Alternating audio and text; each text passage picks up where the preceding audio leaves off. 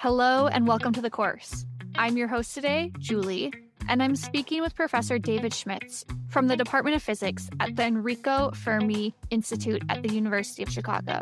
Professor Schmitz is an experimental particle physicist whose work focuses on understanding the basic building blocks that make up our universe, in particular, the subatomic particles known as neutrinos. He is here today to talk about his career path and how he became a University of Chicago professor. Welcome to the course, Professor Schmitz. Thank you very much. It's a pleasure to be here. I'd like for you to start us off with a general overview of your career path from college years to becoming a professor at the University of Chicago. Can you kind of walk us through the main steps between college and joining the faculty at U Chicago? I'm now a uh, associate professor in the Department of Physics. So I'm a physicist. Uh, I'm an experimental particle physicist. But I definitely did not uh, start out down that path when I first started in college. So I'm originally from Kansas. I uh, I did my undergraduate at the University of Kansas in Lawrence, which was only about 40 minutes from where I grew up. And when I went to school, I originally studied architecture and engineering. My degree was actually in architectural engineering, so which was exactly what it sounds like, kind of a mix of the study of design and the study of structural engineering. I ended up on that path, I think, because it sort of really merged things that I was really interested in in that time in my life, which was the idea of, of deliberate design and careful thinking about uh, solutions to problems, but also a real uh, joy and aptitude for for math. And uh, so I started out studying architectural engineering for several years, in fact. And in my second year, I took the sort of core physics courses that were part of any engineering degree. You know, a semester of classical mechanics, a semester of electricity and magnetism. I was just completely blown away by what I was learning in those courses, and I just could not get enough of it.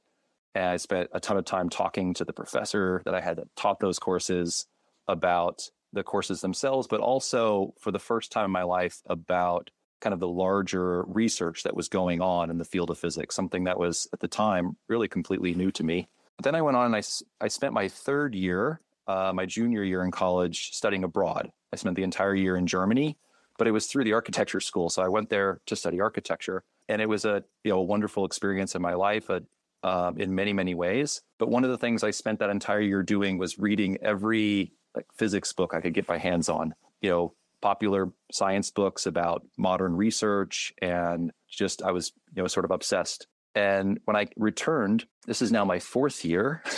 so when I returned, still a architectural engineering major, I wanted to continue taking physics courses. So I signed up for kind of the next level of physics courses that uh, in the progression, which were not at that point at all required for my major. They were beyond what I needed, but I wanted to do it just for my own my own interest. And I distinctly remember actually my advisor in the engineering school sort of wrinkling his nose and saying like why why would you take these courses in modern physics? You know you don't you don't need them for your major. And he was kind of adamant about it actually. He didn't want me to do it to to spend my time. And that was kind of the beginning of of the push in a new direction for me when I just really really realized my passion that I wanted to take those classes and I wanted to continue to explore this the other thing that happened around that time was the professor who had taught me in those courses connected me with another faculty member in the physics department who was doing research and sort of recommended me for research in in that group. And so I got my first taste of real research myself. So by you know pa- partway through, halfway through or so, my fourth year, I had fully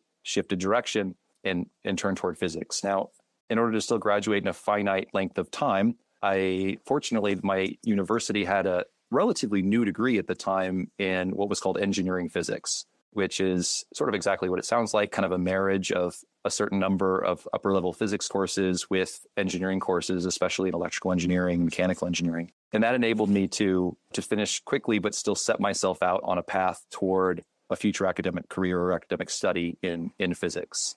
This change into engineering physics, uh, it uh, solved exactly the problem that I uh, wanted to solve, which was that it created a pathway then for me to go and pursue a graduate degree in physics to to get into a PhD program in physics. So I went as as sort of uh, complicated as and indirect as that early part of my academic career was. Once I landed uh, on physics, I've been on a pretty pretty straight line path ever since. So I went to graduate school. I ended up getting into the PhD program at Columbia. So right after I graduated from KU, I went, uh, I moved to New York City and and started my PhD there. Uh, I got into a group studying experimental neutrino physics uh, with experiments that are being done at Fermilab, a lab right here in the uh, Chicagoland area.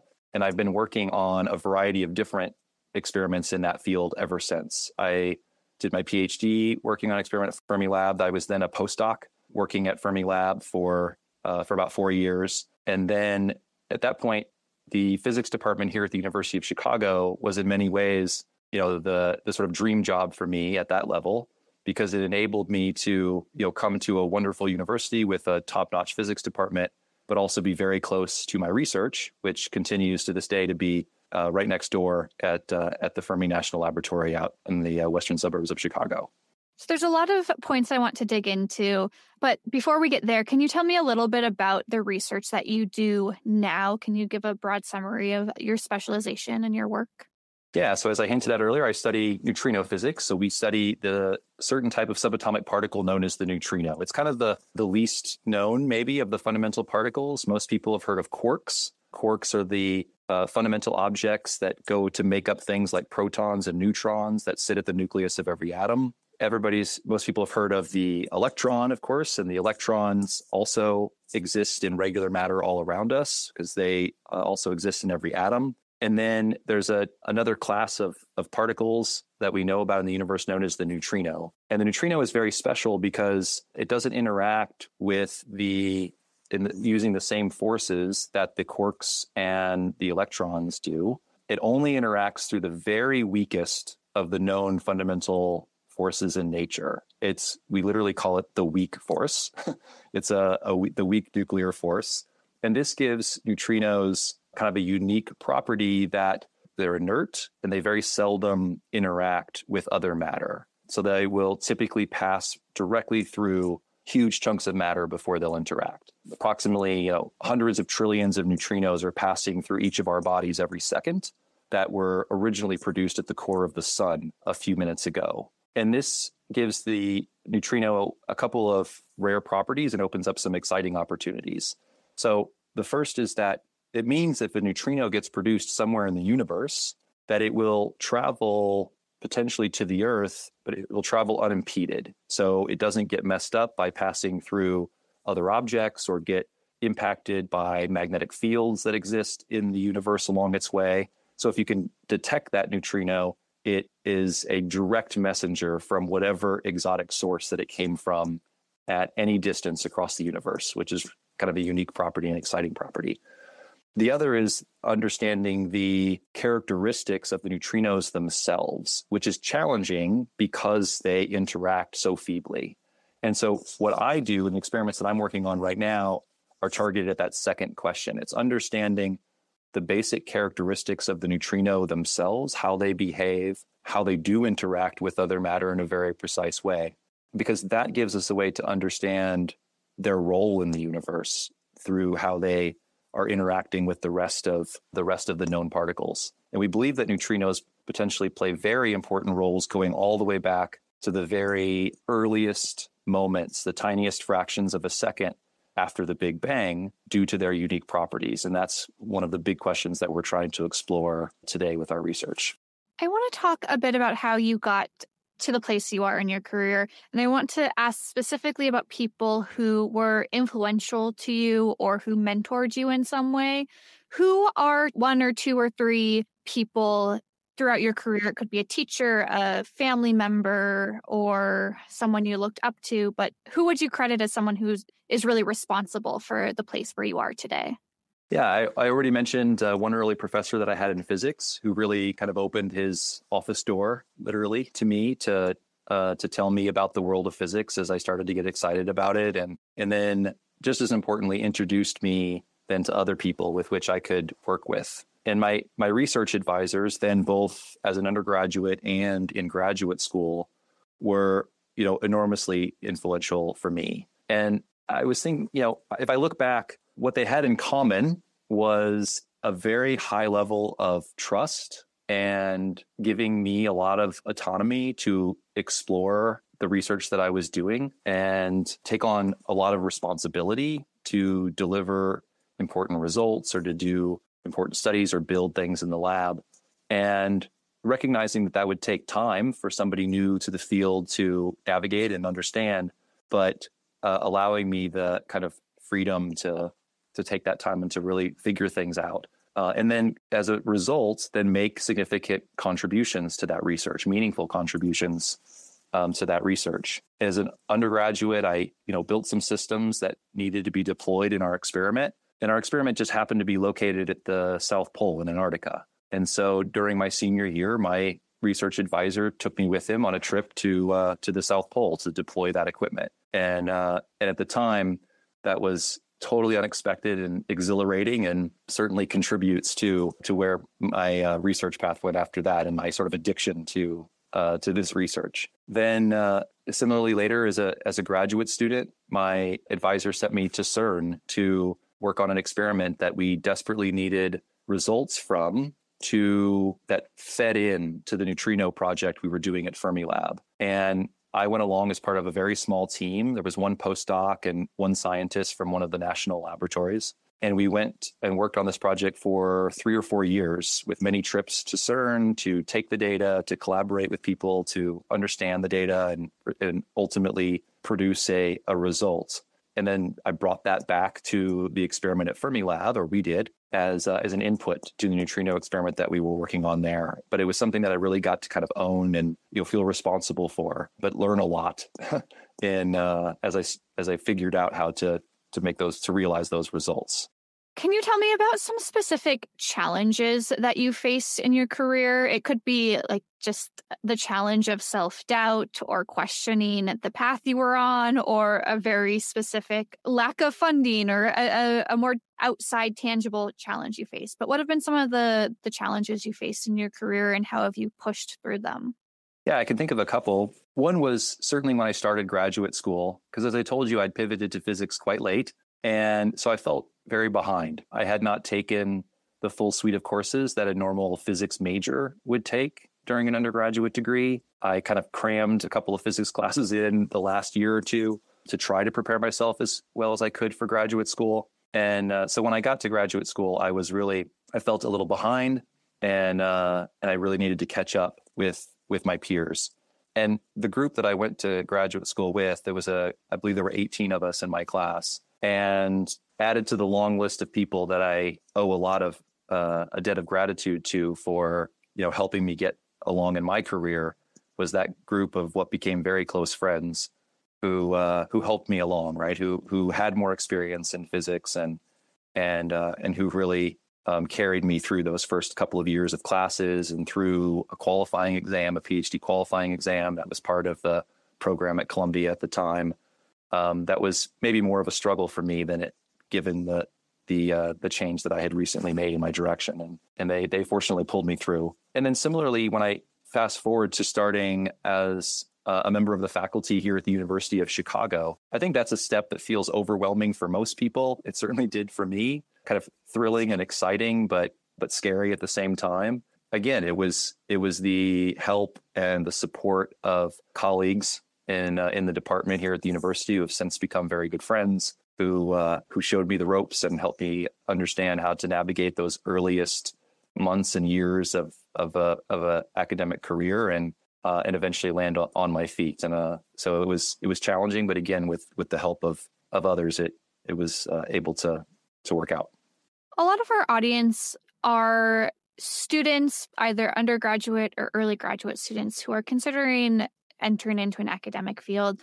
And I would love to hear from you when and how and why you decided to pursue a field as a or a profession and why you decided to pursue a job as a professor and working with students in additional in addition to research rather than a purely research job or a purely industry job what was one of the driving factors behind choosing to be an academic yeah, that's a really good question. And, and in fact, when I was nearing the end of my postdoc and I was looking for long term positions in, in research, the another place that I looked very seriously was at Fermilab, right? Fermilab, of course, has a large staff of uh, scientists, and I had applied for a position there as well, and which would have made a lot of sense, right? All of the research that I had was doing at the time uh, and still doing is is based at Fermilab, and it would have been certainly a very exciting research career. And I ultimately decided to come to the University of Chicago for a lot of reasons, but the large distinction here is the opportunity to uh, to work with students to teach, as you said, but at at a couple of different levels. So there's there's teaching courses, whether it's undergrads or graduate students, something that I am very passionate about and, and really uh, enjoy doing very, very much. But then there's also mentoring graduate students who are doing research, doing their own PhD research. And by coming to the university, I knew that that would be a significant, important part of, of my of my job and of my career. And those were things that I was quite passionate about and excited about and uh, and wanted to to take on. And so in the end, choosing the university path where I would be able to continue my research, but also mentor and teach students at uh, at various levels was was an easy decision in the end. What do you currently find most inspirational in your work? It could be working with students or in the research you do, but what feels like it is inspiring to you and keeps you motivated and keeps you keeps you focused on on the path that you're moving on? The the field of experimental particle physics is is somewhat unique in the timescales and just the the scales of projects that we pursue in a lot of different dimensions whether that's cost or the number of people involved or the time it takes to bring an experiment from its earliest stages of the idea to the design to the construction to the execution to the analysis. Those timescales can be very long um, you know decades. So absolutely getting to that final goal, getting to that that new understanding or answering the question that we have been after for all of that time. You know, the reason we built the experiment in the first place is certainly a driving force, right? You you can't wait to get to that eventual data and then analysis and and to see uh, to reveal that mystery of the of the universe that you're after. But given the given the somewhat unique timescales that are involved, there's there's a sort of a second scale at which I think it's doing this work is really motivating, and that is more at the kind of daily scale or the you know the shorter time scales, and that's where you're every day you're solving kind of smaller problems along the way, and that's where you know working in a research group at the university where there's a number of graduate students or postdocs who are all working on these problems every day and trying to solve everything that comes up, whether it's a a problem with a piece of hardware or whether it's trying to develop a new piece of software that implements some algorithm for ways to analyze the data and just this long series of of small smaller things to tackle that are just really exciting and really fun and and it works well or it's it's fun to work with a team of uh, of researchers on those problems every day and uh, and how those build up then to a, a major milestone like the final result from some big experiment that we've been working for for such a long time. And so those two scales are really complementary to each other. And I think about them both all the time. what would you say is the most fun thing about your current job as a professor at the University of Chicago? What feels the most exciting or the most joyful? I would say the the thing that brings the most just sort of sparks of of of joy on a regular basis for me right now is probably teaching. I tend to teach a lot of the large introductory physics courses. So this again is is introductions to classical mechanics, introductions to electricity and magnetism. These are larger courses, 150, 170 students in a big kind of lecture auditorium typically. And these are exactly the same courses that got me so enthralled and excited about physics when I was taking those classes many years ago now. And so teaching those classes to a new, you know, group of students every year, seeing them realize what I thought was so thrilling and and fascinating about these concepts as I explain them to them and share them and work problems with them is really fun for me. Like my favorite part of teaching a class is office hours, right? Where I get a few dozen students to come in for a few hours and we just go over problems and talk about concepts and try to tie things together from what seem like different parts of the course, but are actually sort of connected at their root and make those connections. And it's it's it's real joy for me to to work with that group of students throughout an entire course and uh, and then do that get to do that again every year is is really fun. Is there anything about your current job that you don't like as much? I know I asked about challenges you faced in the past, and again, this question's a little more focused on the the present. Um, are there things in your current role that feel tedious or less fun, or yeah, just that are are not as enjoyable about the work that you do at the University of Chicago? I wouldn't point at any particular aspect of of my job and say that something is is unfun or tedious or or boring. Instead, I think the challenge comes in that there there seem to be so many different facets to the job that sometimes are in conflict with one another. So I love each of those facets. I enjoy each of those facets, but it's not always possible to keep up with them all at the same time. So, you know, research is of course uh, a prime focus and a um, of everything that I do, and it's you know very important to me personally and very a very exciting piece of of my work and the whole reason I want to be here. Right, but teaching is also a, a, a big responsibility, but it's also a great joy, and I love doing it. But to do it well takes a lot of time and a lot of tension, uh, a lot of work. And then I'd say there's a third aspect to being uh, a member of a faculty university, and that's uh, some amount of, of service or administration work within your department or your division at different levels where you're um, you know trying to make your department better whether that's creating new programs or you're changing how the teaching is done or you're you know you're running a committee that to search for new members of the faculty or the next generation or the next group of graduate students through an admissions process and all of that is is really important work as well and i I take it very seriously because I hope that you know if done well, it makes um, our department even better as we move forward. But those are three kind of totally separate uh, aspects of of the job of being a, a professor, and in that it's hard to keep up with all of those things at the same time. And that's the biggest challenge I would say for me is making time for for all of those different different aspects and not falling behind on any of them. What advice would you have for someone who is interested in pursuing a, a career in academia and specifically a career in physics and an academic career in physics? What advice would you have to someone who is an undergraduate or even an early graduate student? Yeah, I think really important is to uh, try to explore the different areas of research in in this case in physics um, as early as you can that's both just understanding what kind of research is being done out there through attending department colloquia or other uh, opportunities to hear about ongoing research.